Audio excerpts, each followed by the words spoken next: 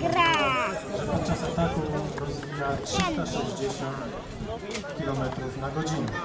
A przeciążenia, którym, którym podlega podczas ataku przy wychodzeniu z nurkowania y, są kilkanaście razy większe niż te, które jest w stanie znieść człowiek i to nie człowiek, a pilot y, współczesnego myśliwca. I tak, ptaki te były nazywane właśnie niskiego lotu. To były jastrzębie, które poruszały się tuż nad ziemią i zdobywały pożywienie, zdobycz dla łowcy albo w gęstych krzewach. Przy pomocy tych długich były w stanie wydobyć z gęstych krzewów.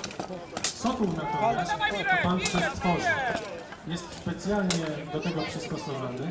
Widzicie Państwo, że ma budowę kropli, kropli czyli bardzo opływowy kształt ciała. Udowodniono, że kula o tym samym ciężarze spadając nie rozwinie takiej prędkości, jaką rozwija spadając sokół. On to robi, tego jeszcze nie odgadniono, ale przeczy to prawom fizyki, ale tak faktycznie jest. Więc to był władca przedstworzy, yy, zbijał się wysoko w powietrze, stamtąd wypatrywał zdobyczy i spadał na nią z wysoka, wykorzystując energię potencjalną właśnie tejże zdobytej wcześniej wysokości. Tą walkę wygrywa Uderzał Będzina! swoimi